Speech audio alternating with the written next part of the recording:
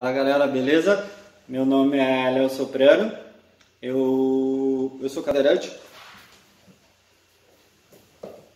eu sou piloto de moto velocidade, de motocross de montagem para rodar e eu tô aqui para mostrar para vocês meu, meu vídeo de volta rápida em Tuiuti. Quem gostar, por favor, comenta e compartilha que é importante para mim, beleza? Abraço galera, valeu!